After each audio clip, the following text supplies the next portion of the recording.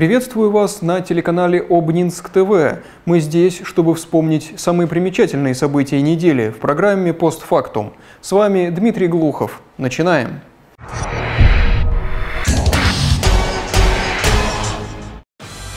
Ретро-поездом из Москвы в Калугу в столице региона стартовали новогодние гуляния. Сейчас будет еще веселее. Со следующего года в Калужской области начинает действовать региональная программа модернизации первичного звена здравоохранения.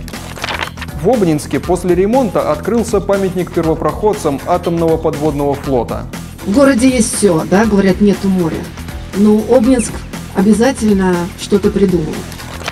В новогоднюю ночь ковид вежливо подождет на пару часов больше. Ограничения для общепита смягчены. Будни чемпионов. Кудаисты лицея Держава рассказали, как спорт стал смыслом их жизни. Он мне дал э, хороших друзей, настоящих, с которыми мы с самого детства и до сих пор дружим, общаемся.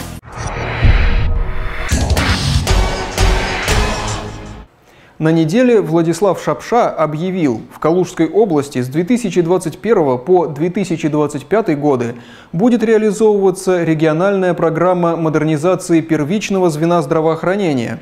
Ее цель, отмечает губернатор, повышение качества и доступности первичной медпомощи, в том числе жителям сельской местности.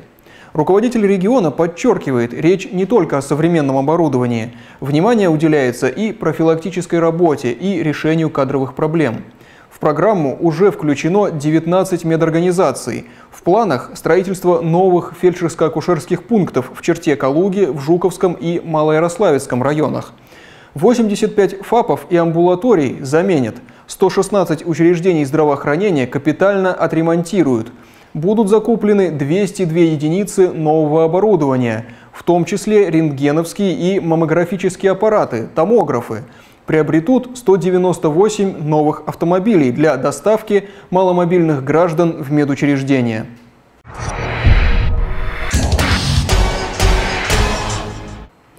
Ранее введенные в Калужской области ограничения будут несколько смягчены. 15 декабря губернатор подписал постановление, согласно которому в новогоднюю ночь организации всех форм собственности и индивидуальные предприниматели смогут оказывать услуги общественного питания в ресторанах, кафе, барах и ряде других заведений до двух часов ночи. Речь идет о 1 января 2021 года. Напомним, ранее было принято решение, что вышеперечисленные заведения с полуночи и до 6 утра должны прекратить обслуживание клиентов в залах. Разрешено только доставкой или на вынос. Период действия ограничений с 1 декабря 2020 по 15 января 2021.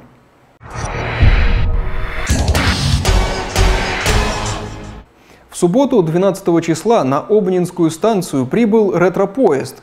В этот день он отвозил туристов из Москвы в Калугу на открытие проекта «Калуга. Новогодняя столица 2021». Выдалась возможность и нам понаблюдать за торжествами.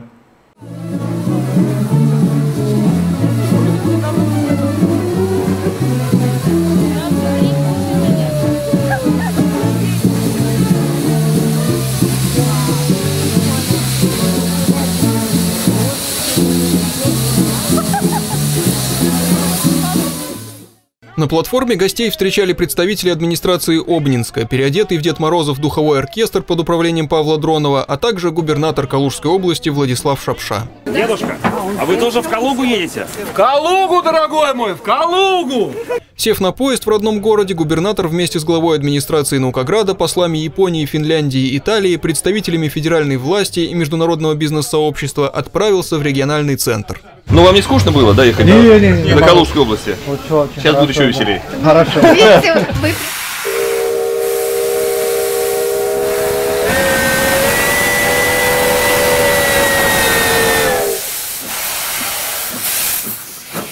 Отправились в областной центр и обнинские волонтеры. 12 декабря в Калуге официально стартовали предновогодние гуляния. Друзья, если вы будете такие тихие, Новый год точно не придет. Здравствуй, Калуга! Слушайте, непростой год, конечно, где-то он нам сильно всем насолил. Но мы очень хотели этого праздника. Сегодня мы запускаем Новый год по всей стране. Ответьте мне на три вопроса. Мы ждем праздник Новый год? Да! Мы любим Калугу? Да! Мы гордимся Россией? Да! С праздником!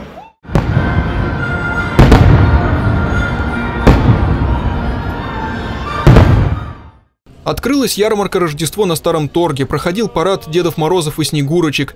Все и не перечислишь. Торжества не обошлись без участия представителей Наукограда. Наш музей подготовил выставку, где гости новогодней столицы могли ознакомиться с историей Обнинска. Также в большом праздничном концерте приняли участие коллективы и сольные исполнители города. Гуляния и празднества в Калуге продлятся не меньше месяца.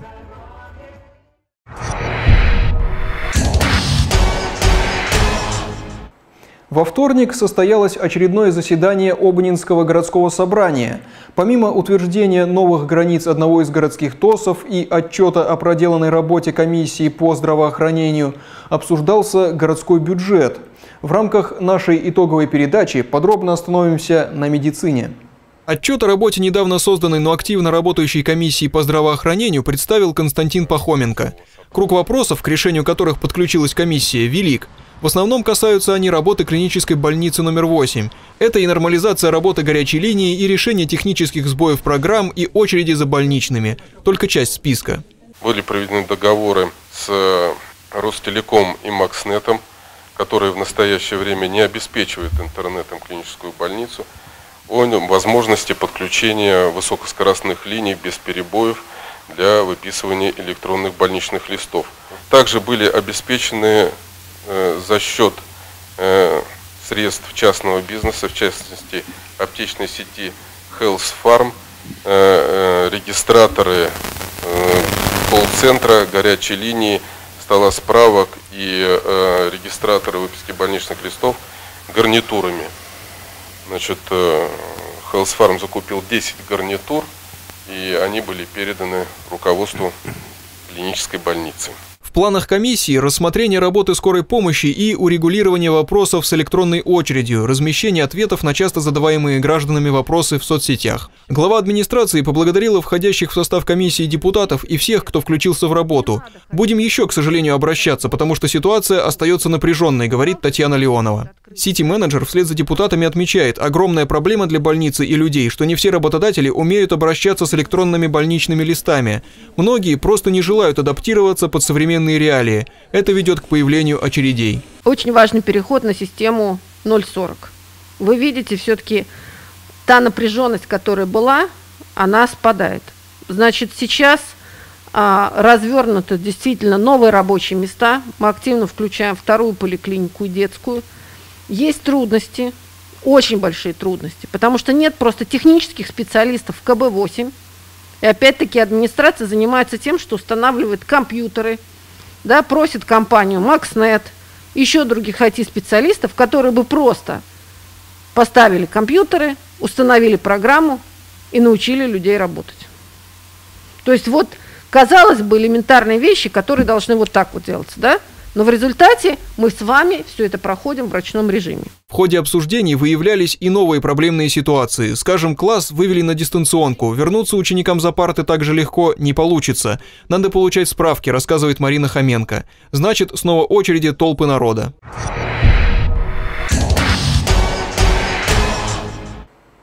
В четверг в Обнинске торжественно открыли обновленный памятник первопроходцам атомного подводного флота – рубку подводной лодки К-14. Достопримечательность города начинали ремонтировать еще весной этого года. По ряду причин ремонт затянулся, и открытие состоялось только сейчас. А митинги в следующем сюжете. Рубка давно нуждалась в капитальном ремонте. Старая облицовочная плитка облупилась. Вандалы украли несколько элементов памятника. Строителям предстояло выполнить немалый объем работ – Ремонт планировали завершить к празднованию Дня города, но получилось закончить только в декабре. В городе есть все, да, говорят, нету моря. Но Обнинск обязательно что-то придумает. И есть подводная лодка. Значит, в городе есть моряки, значит, в городе есть традиции, И в городе есть действительно очень хорошие люди, которые хранят традиции, которые передают их с поколения в поколение. Реконструкцию помогли осуществить компания «Обнинскоргсинтез» и ОНПП «Технология». Куратором проекта стал заслуженный художник Российской Федерации Александр Шубин. 17 декабря можно считать днем рождения Отечественного атомного подводного флота. В этот день, 56 лет назад, был подписан приемный акт первой советской атомной подводной лодки проекта 627. Сегодня, в день 62-летия атомного подводного флота, мы можем вспомнить те славные вехи, которые атомный подводный флот за эти 62 года прошел. Это покорение Северного полюса и проход под льдами Северного флота на Дальний Восток, и кругосветное путешествие, и путешествие групп кораблей – в ремонтные работы входило преображение постамента, сделаны новый фундамент, облицовка и благоустройство прилегающей территории. Восстановлены ходовые огни на самой подводной лодке и внешняя архитектурная подсветка. Завершилось торжественное мероприятие возложением венков и цветов к памятнику первопроходцам атомного подводного флота. Кристина Забошка, Евгений Соколов, Обнинск ТВ.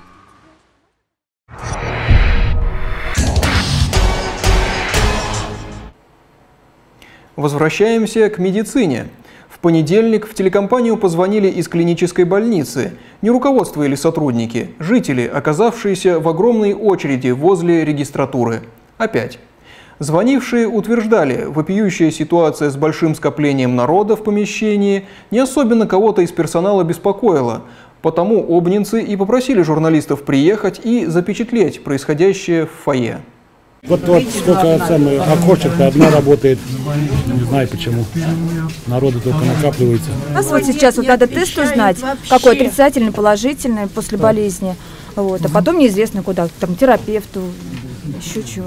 Как открываются эти больничные, тоже ничего не известно. Дозвониться невозможно. Вот стоим уже неизвестно сколько. Запись на 10 дней вперед на терапевту на госуслугах, там вот на сайте. 10 дней терапевтов тоже не хватает, все идут там и поднимитесь. Там у терапевтов... Кто последнюю регистратуру хоть одну? Очередя стоят. Невозможно вообще сюда зайти. По часу, по полтора стоим в очередях. А? Куда смотрят вообще главврачи? Я не понимаю даже. А? Город науки называется. Словом, здравствуйте, социальная дистанция и меры профилактики, те самые, о которых так много везде говорят. Осенний период в принципе непростой из-за сезонных заболеваний, а в этом году особенно нагрузка кратно выросла. В клинической больнице не отрицают, что проблема с очередями существует.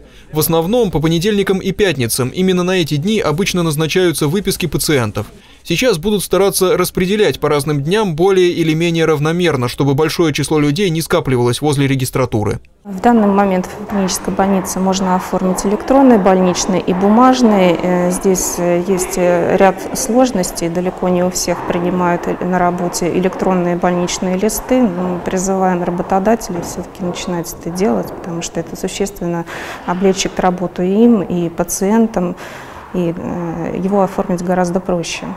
Бумажных бланков не хватает, вопрос об увеличении их числа на время пандемии решается.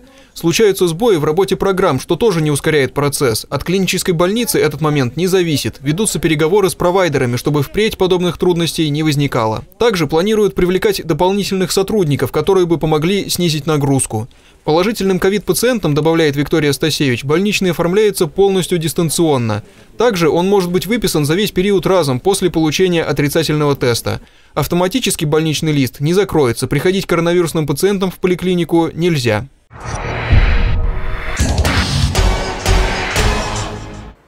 На новогодних праздниках 4, 5 и 6 января в усадьбе Турлики Михайловская состоится театрализованная экскурсия «Рождество в усадьбе». Мы пообщались с ее режиссером Олегом Демидовым, чтобы узнать побольше подробностей предстоящей постановки. На все вопросы Олег Демидов отвечать не спешит, чтобы гости не потеряли интерес, разумеется, и потому что работа еще в разгаре. Идея такова. На нескольких локациях Морозовской дачи будут представлены сцены с участием личностей, имевших в разные исторические периоды отношение к усадьбе.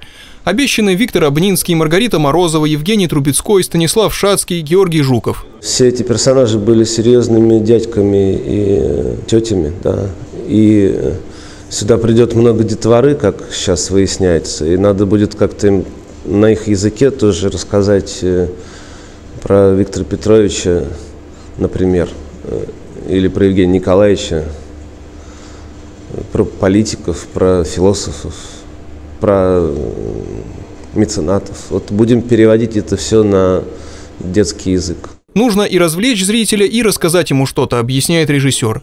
В основном действие развернется на улице. В зале усадьбы поставят живую ель, украсят ее мандаринами, орехами и конфетами. Олег Демидов, осматриваясь, роняет фразу «Здесь Шацкий будет играть в снежки с детьми», но на уточняющие вопросы не отвечает. Через пару минут еще деталь. У Жукова планируется живой конь. К слову, оба этих героя в большей степени отвечают за развлекательную часть. Шацкий еще понятно, но Жуков – и вновь Олег Демидов не раскрывает интригу. Предположительно, в один день по пригласительным, иначе на спектакль не попасть, придет человек 60. В зале столько не поместится. Скорее всего, каждую сценку поставят дважды. Директор музея Алина Кощеева результатом удивлена. Не успели объявить о задумке с экскурсией, как пригласительные смели. Постановка в зиму и на улице – непредсказуемое дело. Как техника себя поведет, справятся ли актеры. Внутри не сильно теплее, чем снаружи. Олег Демидов рассказывает, Виктор Обнинский однажды зазимовал тут и на следующий год продал усадьбу. Не предназначен дом для зимовки. Это же делается первый раз. Это как высадка на Луну практически. Но очень интересная работа, такой своеобразный вызов. И я думаю, что по-любому это будет интересно. Какие-то задумки приходится исключать еще на стадии обсуждения. Скажем, на башенку здания выхода нет, использовать не получится, а хотелось. Работа над костюмами – дело нелегкое. Актерам и тепло должно быть, и одежда при этом должна выглядеть естественно. Заведующая костюмерной Наталья Зазуля показывает фотографию Жукова и объясняет, что изготовить аутентичную шинель будет нелегко. Обнинским актерам предстоит играть людей, которые мыслили и говорили иначе. Еще один вызов – чтобы достоверно отыграть, читают Чехова. Мне кажется, что у Чехова в его арсенале взаимоотношений между людьми есть все. Поэтому там можно все как бы применить к тому, как люди любят друг друга или не любят, как они общаются, чего они хотят. Угу. Наверное, поэтому Чехов. Постановка будет в духе иммерсивного театра, подразумевается взаимодействие со зрителем. Олег Демидов в интервью обмолвился. В свое время остался под впечатлением от спектакля «Черный русский». Ну а если зритель не станет взаимодействовать так, как на то рассчитывают? Будет же несколько показов. А на первом будет все понятно. А, будет проведены работы над ошибками. А, и уже следующие показы будет четко ясно, где, с какой интонацией, может быть, шаг вправо, шаг влево, куда нужно будет сделать, уже будет более четко ясно и будет нормальное представление. С Шацким, признается Николай Чочин, непросто, каким был этот человек, непонятно. Приходится додумывать. При изготовлении женских костюмов всегда консультируются с актрисами, говорит Инна Дешина. Этот раз не исключение. Взаимопонимание костюмера и актера – гарантия хорошего результата. Мне кажется, мужчины-актеры к этому относятся проще, смеется актриса. К слову, на фотографиях Шацкий обычно без усов и бороды, значит придется бриться. Николай, улыбаясь, говорит, что возможно в период, который увидит зрители, известный педагог решил расслабиться. Что ж, не все сумеют увидеть театрализованную экскурсию в усадьбе Турлики Михайловская. В отделе культуры не исключают, в будущем такие постановки будут проводиться еще. Дмитрий Глухов, Евгений Соколов, Обнинск ТВ.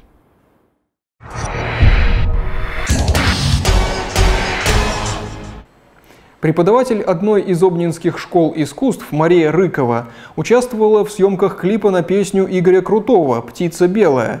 Для обнинской певицы это был принципиально новый опыт, новая вершина.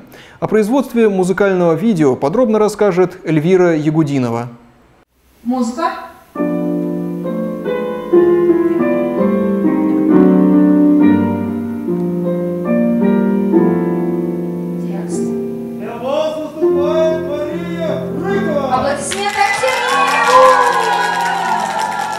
Несколько минут перед выходом на сцену. Внутренний метроном вычитает такты до вступления, Сережка упрямится в непослушных пальцах. Мария погружена в образ и уже готова дарить зрителям эту песню «У неба на краю». Новое исполнение и совсем другая, но такая пронзительно искренняя история женщины, которая поет. Это кавер-версия знаменитой «Белой птицы», впервые прозвучавшей на открытии Казанской универсиады 2014. Визуально донести песню до целевой аудитории помогает команда московского продюсера Елены Шабашовой. Снимаем клип для потрясающей вокалистки Марии.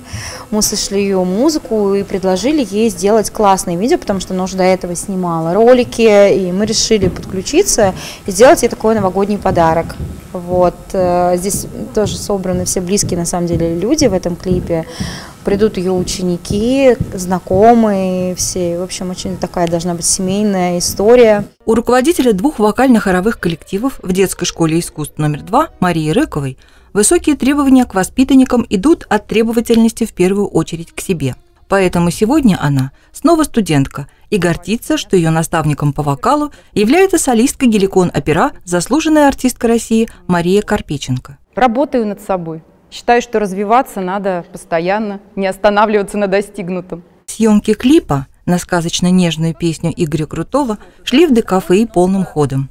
Статисты получали инструкции режиссера, оператор выставлял свет, отмечая раскадровку, помощники готовили зал к съемке и доставали реквизит. Кого-то гримировали и одевали, статистов рассаживали в зале и еще раз заставляли пройтись по сценарию. Для съемок были выбраны три локации, две в Обнинске и одна в Москве.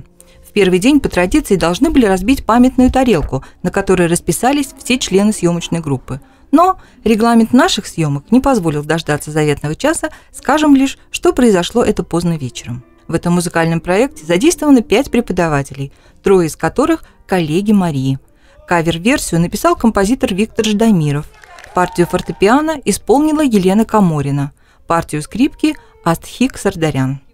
Пятым в этом творческом квинтете стал сотрудник ИАТ Петр Заботин. Преподавателю кафедры физической культуры тут доверили проявить свои актерские таланты. Вообще, весь этот клип, по словам продюсера, это такая ручная работа, где все детали задуманы и сделаны специально для этих съемок. Мы попросили Елену Шубашову чуть-чуть приподнять завесу тайны будущего клипа. Это история про одинокую артистку, которая, знаете, все время гастролирует э, по разным городам и весям, и в самый такой семейный праздник в итоге она остается одна. И тут она понимает, что на самом деле важны еще и семейные ценности, духовные ценности. И случается чудо с ней. Наверное, чудеса действительно случаются, если этого по-настоящему хочешь. Мария абсолютно уверена, что без волшебства здесь не обошлось. Ведь как иначе было в такие короткие сроки все успеть и со всеми договориться. Она рассказала о том, как ей пошли навстречу и директор Дома культуры физико-энергетического института Дмитрий Заиленков, и директор городского Дома культуры Ирина Пахомова в организации съемок. Как повезло найти прекрасную портниху и визажиста, а пуще того – о том, как однажды в ее обнинской квартире совершенно неожиданно раздался звонок московского продюсера с предложением о сотрудничестве. Сейчас обнинская певица в ожидании еще одного чуда. Музыкальный клип «Птица белая» должен родиться в монтажной со дня на день. И, как пообещала Мария, именно зрители Обнинск ТВ станут первыми, кто его увидит. Эльвира Ягудинова, Сергей Мокрецов, Обнинск ТВ.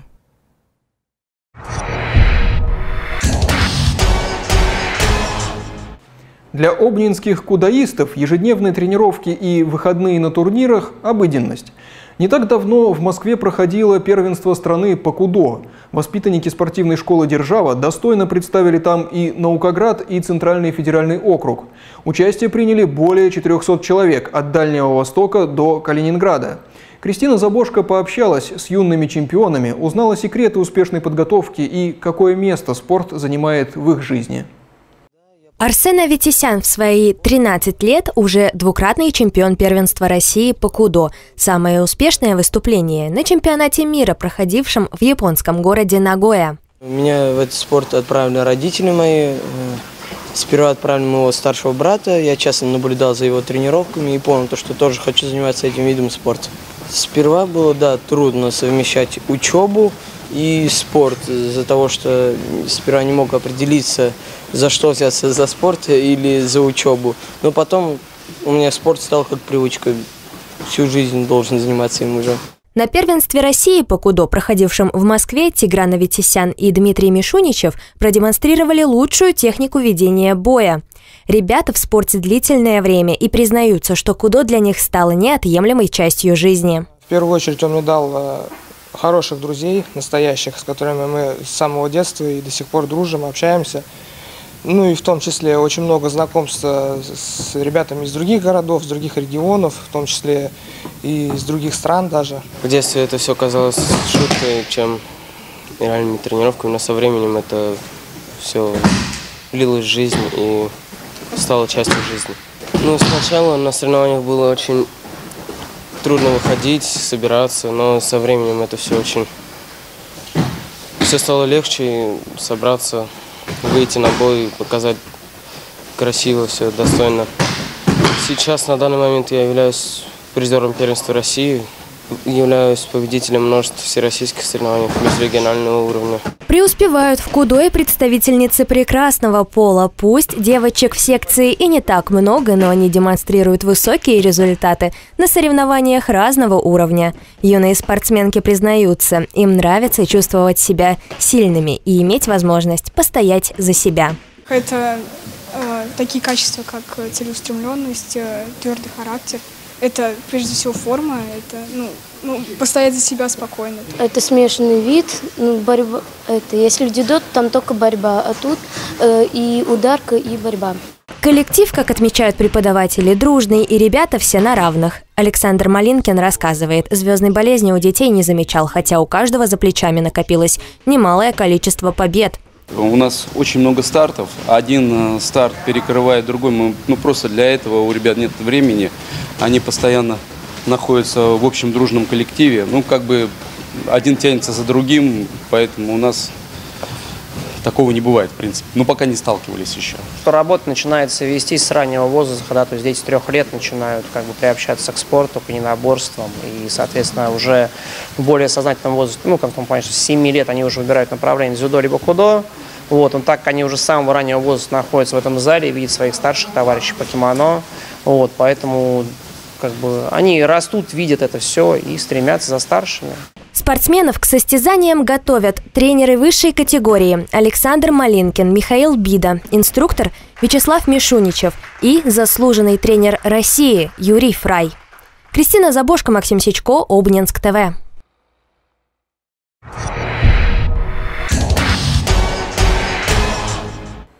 На сегодня все.